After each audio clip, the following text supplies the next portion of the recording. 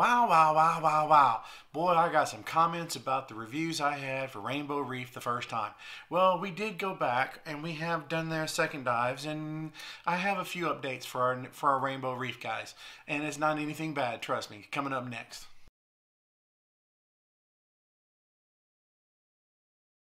Okay, so here's what we got. My first review of Rainbow Reef apparently didn't sit well with some viewers because I called them a dive factory. But that being said, it's not a bad thing. Oh, please, people.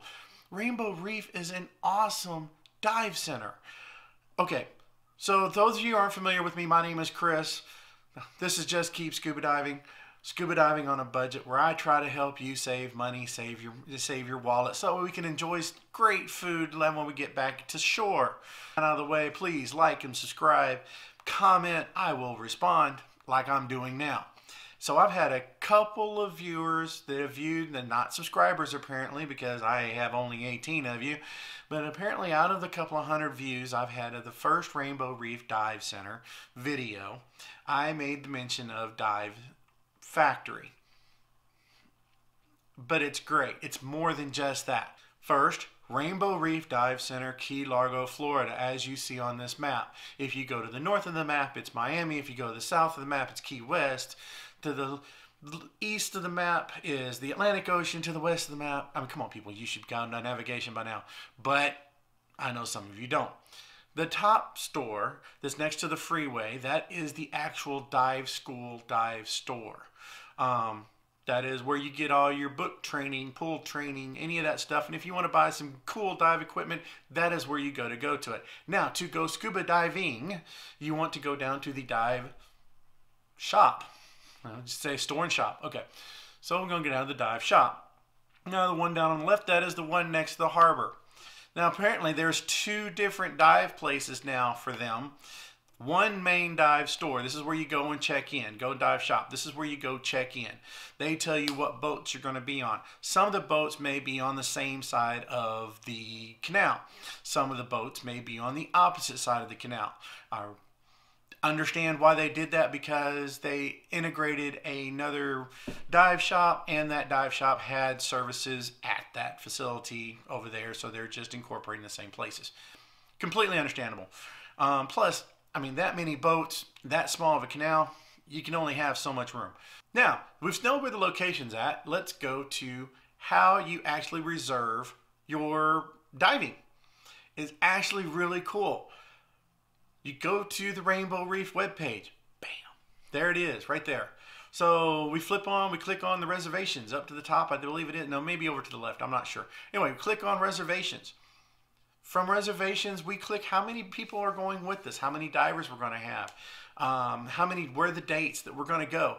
That being right there, that, that's it. That's all we really have to do. But they do something else. They have hotels that are incorporated in their diving rates. Some of them may only be like a 2% discount. Again, discount's a discount. What can I say about that? So you click on that page, you reserve the hotel rooms how many days you're going to be there. It tells you the exact amount you're going to pay. What else you now you can budget your trip instead of guessing I got to do $35 a day plus tanks plus this plus it's right there. Done. That is the setup of your vacation. Now you sit back and wait to go diving. So you get there, you check in at the little store. They say, "Okay, you're going to go on the Odyssey, Tropical Odyssey," and it's right there on the, it's right there on that side of the canal. You check into that canal, it's done. You give them your, you put your gear at the table that you're going to be because table there's there's tables there that are color coded. You check in at the Odyssey, and the crew they say, "Yep, that's okay," and then you're sitting there and you're waiting for them to get the boat ready. Once they give you permission to go on the boat, you hand them the gear, you get on the boat, they hand you back the gear, you start setting it up. I will say this from the first time I dove with them to now, they have kind of changed their mentality about setting up of the gear. I don't know what the heck that was. The setting up of the gear. Used to be, you set your own gear up, there was no questions asked, that's what you did here lately, I noticed that some of the crews are actually offering to help you set up the gear. Now, for those of you that don't want your gear touched, you can say no. It's okay. For those of you that are new in setting up your gear, you can say yes, and they will walk with you and walk through the setting up of your gear. Me, Tammy, we got used to being at their service center and or at their dive center and jumping on the boat, immediately setting up our gear, getting our weights, whatever weight we're going to get, and off we go. If you're diving nitrox, this is the point in time they are going to come around and have you analyze the tanks that you're diving in. That's it. All right. So you've done your first dive. Beautiful, great. It was wonderful. It was awesome. Get up, start changing out your gear. Put it onto the second tank. Now during this time, again, there's been some mentality switch, and I think it was the acquisition of the other company. Used to, they were like, you get your gear and that's all you get. you change your gear out and hurry up and do it by the time we get down to the next site or by the time we get ready to go back in the water now it's been I, I, we, we were asked do you want us to help which kind of threw us off because we already had our gear swapped over um, one of us would wait while the other one swapped, especially when we have two beefier people next to us. I mean, not much of room to do that with. Um, and then you do your second dive. Come back up. And, and, and also, they changed some of the snacks. Some of the snacks are now not just cookies, but nuts. Take some oranges with you. The oranges are great to get that ocean water out of your mouth.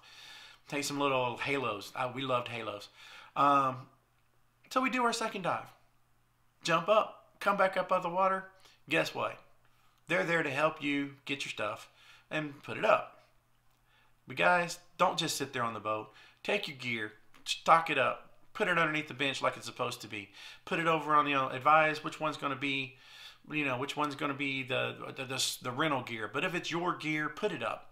Take it off, put it up, bring it out, get ready to go. So when you get at the dock, all you got to do is grab your bag, tip your divers, your dive masters, and your dive guides and get off the boat.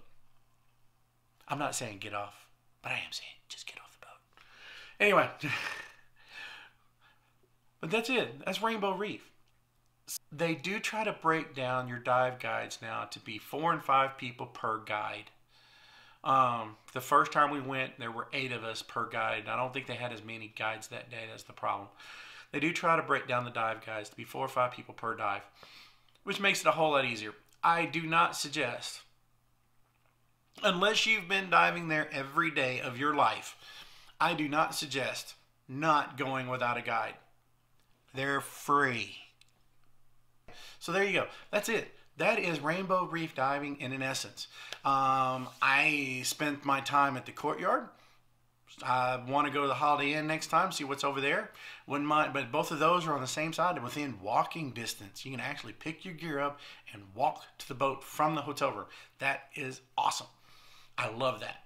Um, but I mean, what else could I say? Even though I said it was, yes, a dive factory, it is a great dive vacation. It is a great dive company. Um, of course, everybody has their quirks. Everybody has their problems. Everybody has their solutions. It is one of, if you go to Key Largo to go scuba diving, you should go there. Rainbow Reef Dive Center in Key Largo, Florida is the dive location to go to for your main scuba diving just just the place to go to that's it so have a good day scuba diving on a budget my name is chris hit like and subscribe i'm trying some new things out Love you all. Love all 18 subscribers and all the viewers out there. Rainbow Reef Dive Center. Have a good day. Good day. Good day. Good day.